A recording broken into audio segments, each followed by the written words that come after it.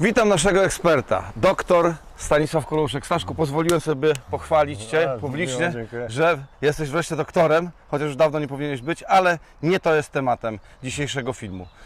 Kolejki wąskotorowe. Tak. Usiądźmy, będzie nam wygodniej. Kolejki wąskotorowe to jest temat, który się pojawił w Europie. W ogóle zostało to wymyślone w latach 70. XIX wieku. Dlaczego? Bo e, kolej normalno-torowa wymaga bardzo specyficznych warunków. Musisz mieć zbudowane podtorze, musisz mieć bardzo e, specyficznie wyprofilowany grunt, musisz mieć e, szereg innych spraw załatwionych, żeby móc wprowadzić normalną kolej. To znaczy, po ludzku, taka wąskotorówka jest znacznie łatwiejsza i tańsza w wybudowaniu. Tak, i o to chodziło, że można było stosunkowo tanio przewozić materiały masowe, dużą ilość różnych produktów na ograniczoną odległość, ale bardzo szybko i bardzo tanio. Ale kolej wąskotorowa miała y, też swoje minusy. Jednym z nich było to, że miała mniejsze udźwigi. Tak. Mniejsze udźwigi, a to było rekompensowane powiedzmy łatwością budowy, yy, ale rzeczywiście udźwig był mniejszy niż kolei normalno-torowej, co się wiąże wprost z parametrami szyn. I najpierw parę słów o tych szynach. Y, Szyny do wąskotorówek, tak jak to było w patencie francuskim, tak człowieka, który nazywał Decoville, ten patent zakładał, że to mają być przęsła, które 5 metrów toru, gotowego toru z podkładami, uniesie dwóch ludzi. Więc musiało to być lekkie, że można było to łatwo y, przenosić. Teraz tak, y, te y, szyny się składało tak, jak dzisiaj się składa kolejkę, model kolejki. Czyli po prostu kawałek toru, Łącz, taki element to się składa śrubami przez y, dziury wywiercone w szynie i dzięki temu można taki tor bardzo łatwo składać w dowolnym terenie praktycznie. On musi być tylko bardzo, bardzo wstępnie przygotowany.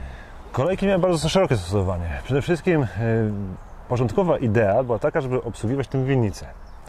E, Dlaczego winnicę? Bo Decoville miał problem. Jego winnica była na y, grząskim, wapiennym gruncie. Wozy konne nie dawały tam sobie rady. Myślał o wprowadzeniu kolei. Kolej normalno-torowa za szeroka. Stąd pomysł na bardzo lekką kolejkę, którą mogliby obsługiwać y, ludzie, konie albo niewielkie lokomotywy. Pomysł załapał. Już w latach 70. XIX wieku był to pomysł bardzo popularny, bardzo chętnie używany, ale prawdziwy boom na kolejki wąskotorowe to jest okres I wojny światowej. Dostarczanie materiałów na linię frontu i cała Tak jest. logistyka za linią frontu. i cała logistyka za linią frontu. I we, w, na terenach Polski, na terenach dzisiejszej Francji, Niemiec było wybudowanych tego dziesiątki tysięcy kilometrów. Ale nie tylko, bo kolejki wąskotorowe to nie tylko użycie y, wojenne, y, też użycie w twierdzach, trzeba o tym powiedzieć, y, ale też użycie w przemyśle. I teraz y, dawniej cegielnie były obsługiwane wozami konnymi. To się wszystko zmieniło y, już podczas I wojny światowej. Dlaczego? Bo były potrzebne konie na froncie. E, nie do kawalerii, ale do taborów, do ciągnięcia wszystkiego na samą pierwszą linię frontu, mimo obecności tych kolejek nawet. To, był, to było po pierwsze. Więc jeżeli konie nie były używane w cegielniach, było tam wprowadzić co innego. Więc prowadzono lekkie torowiska, w których wożono glinę, a z drugiej strony wożono gotowe cegły do załadunku na przykład na stację kolejową. Więc y, logistyka. Ale nie tylko, bo jeżeli oglądamy zdjęcia historyczne, na przykład budowy mostu yy, grunwaldzkiego, na przykład budowy hali stulecia we Wrocławiu, tam też zauważymy torowiska kolejki wąskotorowej. Wszystkie budowy, praktycznie wszystkie duże budowy były obsługiwane przez kolejki wąskotorowe. To jest bardzo ciekawe, dlatego że po pierwsze było to tanie narzędzie, Tak. Ułatwiające, usprawniające, modernizujące całą logistykę, ale też transport. Zatem bardzo ciekawe e, narzędzie ułatwiające rozbudowę przemysłu, turystyki, Też. no oczywiście dla wojska to już Dla później, wojska. w czasie wojny, tak? Cały wachlarz zastosowań. Tak. E, Po I wojnie światowej nie zrezygnowano. Nie. Wtedy jest y, właściwie największy popyt na wąskotorówki. Powstaje masa prywatnych firm, które najpierw i częściowo skupowały y, torowiska i część od wojska, żeby sprzedawać je na przykład rolnikom. Y, Potem te firmy specjalizowały się w dostarczaniu różnego rodzaju asortymentu dla fabryk, dla przemysłu i dla różnych organizacji. Staszko, ale wspomniałeś, bo jeszcze wrócę do tej pierwszej wojny światowej, wspomniałeś, że e, na przykład w twierdzach czy w fortach wykorzystywano Tak. takie. My jesteśmy na forcie numer 6 na wrocławskich Polnowicach, gdzie mnie zaprosiłeś i gdzie wszystkich serdecznie zapraszam, jak tylko Staszek znajdzie czas, żeby Was oprowadzić, bo jest człowiekiem zajętym. E, Ale czasami znajduje czas dla turystów. Dziękuję Ci w imieniu turystów, którzy mają to szczęście, żeby z Tobą się spotkać. Tutaj również jest taki kawałek kolejki wąskotorowej, który odrestaurowujecie. Tak jest. Trzy słowa, żeby widzom y, powiedzieć, y, jak to działało. Tutaj macie kawałek odrestaurowanego toru. Jak to działało? Y, Tutaj we Wrocławiu te kolejki wąskotorowe forteczne, ona na pewno była zbudowana, bo mamy relacje prasowe y, z okresu I wojny światowej, że kolejka we Wrocławiu była. Myśmy się zdecydowali na y, odbudowę fragmentu i to jest rzecz, y, może nie perełka aż, ale bardzo ciekawy przykład dawnej techniki. I tu mamy pięknie zrobioną przez naszego kolegę Pawła Mateusiaka wózka wąskotorowego, które były używane bardzo podobne, to jest troszeczkę ze zdjęć, troszeczkę na wzór, zrobiona replika takich wózków, jakie były używane między innymi też we Wrocławiu. I to jest oczywiście jezdne jak najbardziej, to się porusza, jeździ. Natomiast jeżeli ktoś ma szyny na przykład wąskotorowe, y, to apelujemy o przekazywanie. W fortach y, kolejki wąskotorowe były wykorzystywane do dwóch podstawowych celów. Pierwszym celem była mobilizacja. To znaczy teren dookoła fortu no nie był na początku XX wieku nigdy nie był gotowy do walki cały czas. Trzeba było go przygotować. W związku z tym trzeba było przenieść całe masy ziemi, trzeba było przenieść yy, setki, jeżeli nie tysiące sztuk pali zasiekowych, tony drutu kolczastego, blachy falistej, drewna. To wszystko musiało być jakoś transportowane. Koni nie było w mieście zbyt dużo dostępnych, bo były na froncie. W związku z tym układano przęsła szyn wąskotorowych i na takich wózkach te wszystkie elementy były transportowane na miejsce. Czy w Waszym forcie, w forcie piechoty numer 6, em, e, taki wózek, oczywiście taka kolej, kolejka czy zestaw, bo to się mówi o zestaw chyba, tak? Em, Tak. Funkcjonował, ale czy on na przykład miał tutaj jakąś lokomotywę? To jest bardzo ciężko stwierdzić, bo y, wzmianki na ten temat są mało obszerne. Wiemy na pewno, że w ogóle wagoniki były, a skąd wiemy do tego, że w prasie pojawiło się ogłoszenie, że y, wózkami y, pod nieobecność wojska bawią się dzieci i rodzice są proszeni o dopilnowanie pociech. To jest z I wojny światowej. Bo to było ogłoszenie samej komendantury twierdzy. Taka uwaga. Taka uwaga. Natomiast czy były lokomotywy? Prawdopodobnie tak. Y, Natomiast jak one wyglądały? No były to pewno lokomotywy parowe y, o niewielkiej y, wadze, które miały tą budowę mobilizacyjną obsługiwać. Po mobilizacji zostaje jeszcze drugi aspekt, dostarczanie zaopatrzenia. I teraz dostarczanie zaopatrzenia, no to, to jest duże wyzwanie, no bo przecież tutaj w tym forcie 170 ludzi, oni muszą coś jeść. Trzeba im coś doprowadzić, trzeba zmiany wprowadzić. To wszystko można łatwo załatwić za pomocą kolejki transportowej. Wniosek jest jeden, bo tutaj możemy powielić, bo to jest matryca, także, czyli na każdym forcie powi- występ, albo przynajmniej w większości Tak. obiektów występowały kolejki wąskotorowej, ułatwiały pracę, ułatwiały życie, przyspieszały y, y, działania mobilizacyjne, ale też i działania obronne, no bo trzeba było uzupełnić amunicję, być może nawet odwieźć rannych gdzieś do jakiegoś punktu, na których ich y, potem, wiadomo, na wozy i Mhm. czy na donoszowych, no to różnie mogło wyglądać w ferworze Tak walki.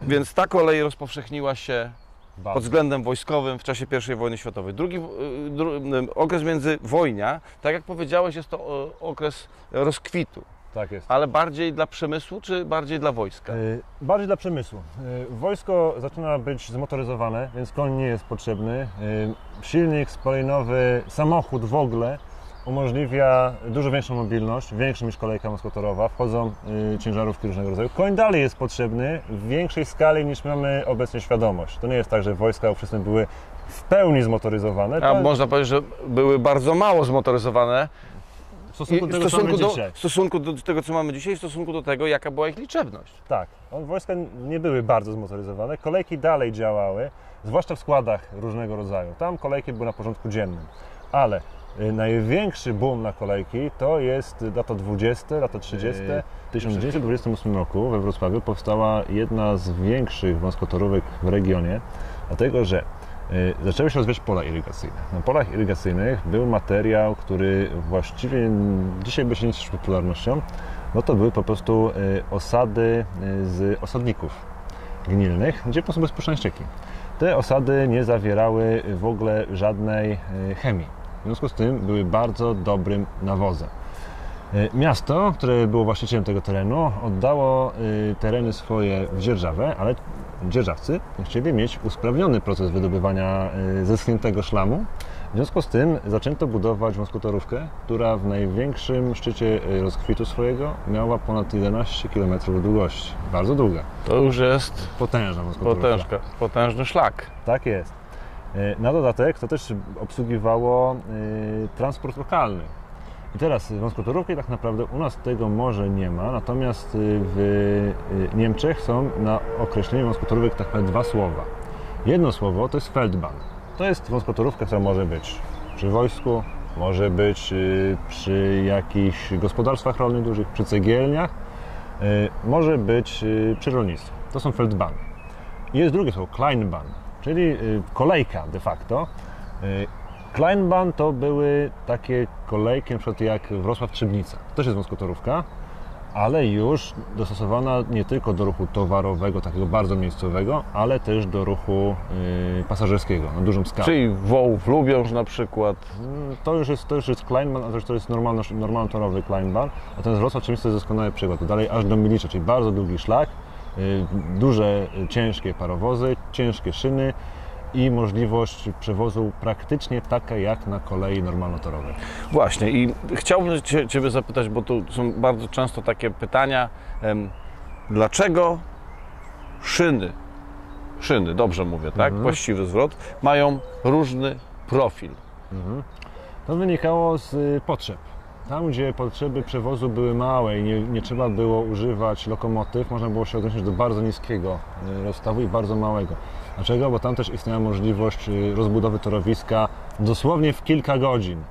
Natomiast tam, gdzie y, planowano używanie ciężkich parowozów, tam, gdzie planowano, że ta wąskotorówka będzie służyć dłużej, używano ciężkich szyn, które umożliwiały przewożenie cięższych towarów, używanie cięższych wagonów, używanie ciężkich parowozów.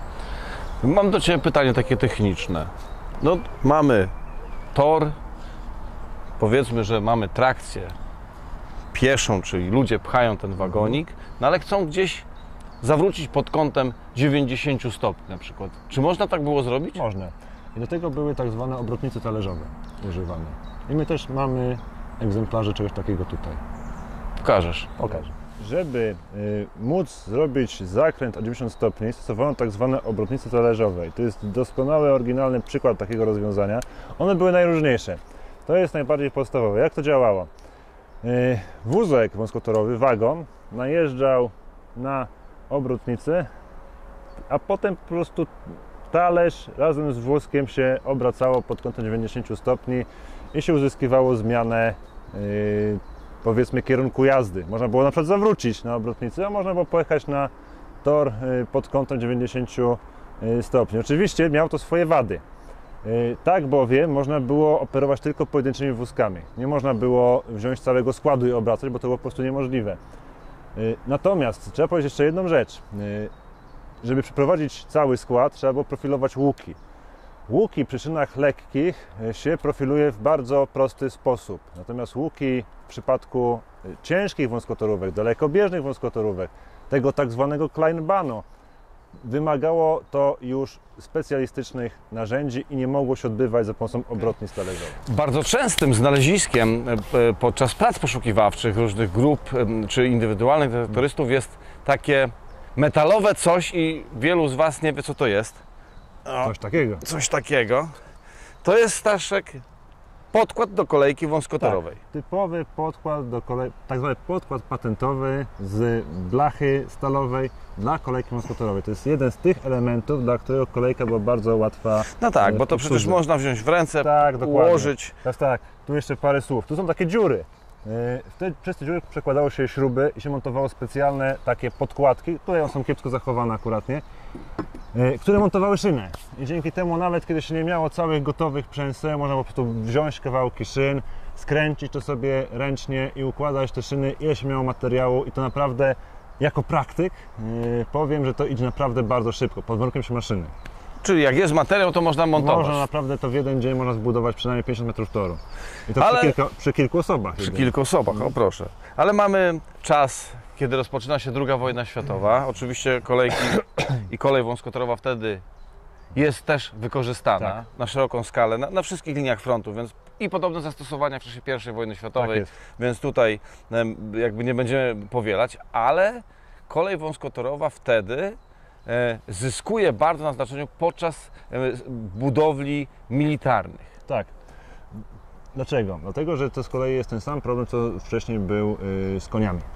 Mianowicie y, transport samochodowy potrzebny na froncie, to też budowy były obsługiwane w dużej mierze przez y, kolejki moskitowe, takie ręczne. Po prostu były koleby, które były pchane i to było robione y, w gruncie rzeczy ręcznie, chociaż czasem też z użyciem małych lokomotyw spalinowych. I te kolejki pojawiają się wszędzie. Pojawiają się przy budowie różnego rodzaju kwater, pojawiają się przy odgruzowaniu miast. Na przykład dla naszych widzów powiemy chociażby Rize. Tak, to, to, tam było to Niewolnicze wykorzystanie pracy więźniów w sposób niepodlegający oczywiście jakiemu kom- kom- komentarzowi zbrodniczej działalności Niemców, ale sama kolejka tam Też tam była. bardzo Tak. rozpowszechniona. I to pomagało budować to w dosyć szybkim tempie, wywozić ten urobek kamienny, przewozić materiały.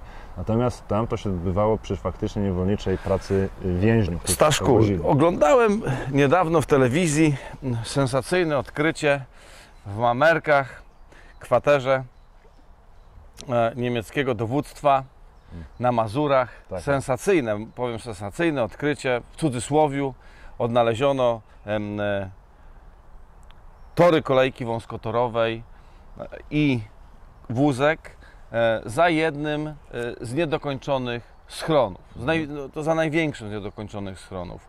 I czy to powinno nas dziwić? Nie, natomiast trzeba pogratulować, bo to Oczywiście. znajdywanie już dzisiaj y, tego typu dużych fragmentów śladów budowy jest rzadkie. I na przykład y, pamiętasz... Gratulujemy kolegów, z którymi się niedawno widziałem. Gratulujemy serdecznie. E, Natomiast y, wszystkie budowy były takie duże, tak jak mówiliśmy, wszystkie one były obsługiwane kolejkami i to naprawdę y, nie dziwi, że się tam jest. Natomiast y, dzisiaj już tych śladów kolejki jest bardzo mało.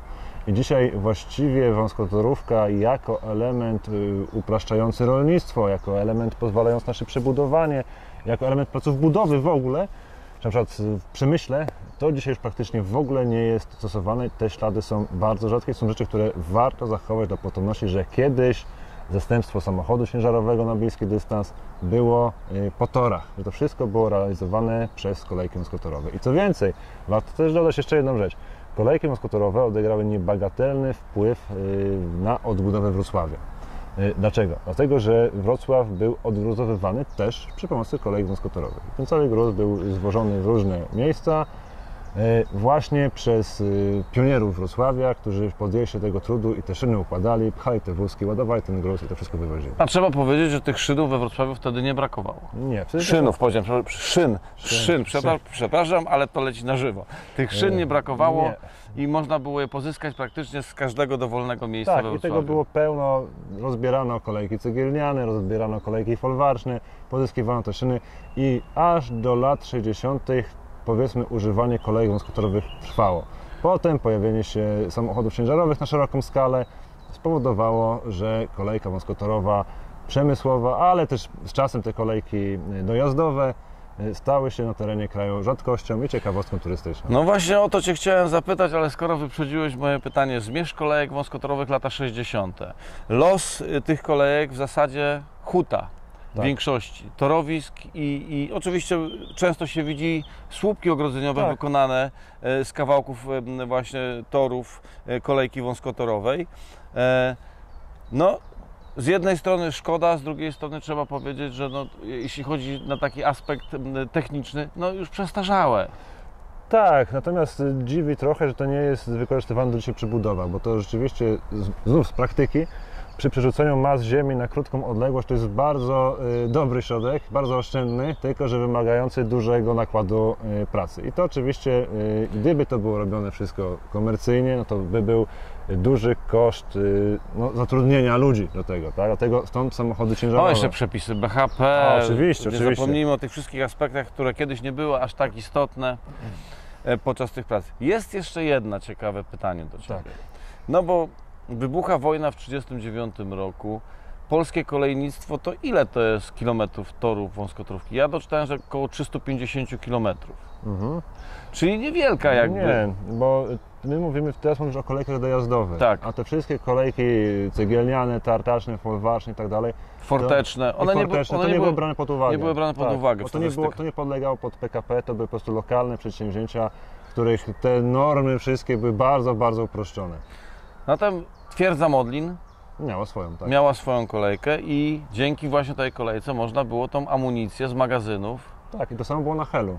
Na Helu też była kolejka Tak. skutorowa i też to było używane do transportu amunicji, części zapasowych, rezerw i tak dalej. I ciekawostką taką jest, trzeba powiedzieć, że te kolejki były tak ciekawie ułożone, iż droga była zamaskowana, rozciągnięte były siatki. W zasadzie były niewidoczne dla e, lotników i dla zwiadu lotniczego. Oczywiście, wiadomo, jak siatkę zdmuchnęło albo po, No kilku, tak. po jakimś ostrzale odsłaniały się te e, odcinki torów, ale można je było też bardzo szybko naprawić. Tak jak powiedziałeś, w prosty sposób, Bardzo kilku, prosty. Tak. kilku żołnierzy, podsypujemy piasek, ubijamy, kładziemy. Nie wymaga, nie wymaga to wielkich poziomic. Nie, nie. To ani nie geodetów. umiejętności wielkiej, bo to naprawdę jest y, bardzo proste w obsłudze. Na tyle proste, że y, w Niemczech akurat to te kolejki robiły właśnie te oddziały RADO. O tym też my się wspominaliśmy kiedyś, po prostu takie przystosowanie niemieckiej młodzieży do pracy, trochę do wojska i tam też nie, odgrywało nie wiadomo do czego więcej, tak? No i do, i do innych rzeczy, rzeczy pewnie też, natomiast kolejki też oni budowali, rozkładali, czy budowa autostrad i wszystkich tego typu przedsięwzięć, to było wykorzystywane. Możemy się zatem pokusić o takie stwierdzenie, że kolej wąskotorowa to była dźwignia, która popychała przemysł i rozwój regionów do przodu. Byłbym ostrożny, natomiast y, kolej w ogóle tak. Y, I te kolejki wąskotorowe y, były, Przyczyniły się. przyczyniły się i były na pewno wielkim ułatwieniem w szeregu różnych ludzkich działalności. Zatem, jak widzicie, przedstawiliśmy Wam krótki rys historyczny o kolejkach wąskotorowych. Dla wszystkich poszukiwaczy jest to informacja, że jeżeli znajdziecie szynę, podkład bądź coś innego, Fort Piechoty numer 6 Wrocławskie Polanowice przyjmie każdą ilość od Was, drodzy poszukiwacze, a widzowie, być może ktoś ma takie, też serdecznie prosimy, niech nie starczą tam Wam wbite w ziemię, niech nie straszą w ogrodzeniach, tylko zwyczajnie przywieźcie je w miejsce, które zostaną odpowiednio zadbane, ułożone i będą służyły dalszej eduka- edukacji. To jest też trzeba powiedzieć o ciekawostce. Było coś takiego jak kolejki ogrodowe. To u nas w Polsce może nie jest zbyt popularne, ale na przykład wrocławskie zoo y, też miało kolejkę i to była typowa kolejka parkowa, która przy różnych festynach, świętach i tak dalej woziła przede wszystkim dzieci ku ich niebywałej radości. A więc kolej służyła nie tylko wojsku, nie tylko przemysłowi, ale też kulturze i odpoczynkowi. I rozrywce. I rozrywce, tak. I tym optymistycznym akcentem dziękujemy Wam za dzisiejsze spotkanie i Staszku, Tobie również dziękuję. Oczywiście mam nadzieję, że jeszcze nie raz się spotkamy. Tak, Do zobaczenia. do zobaczenia.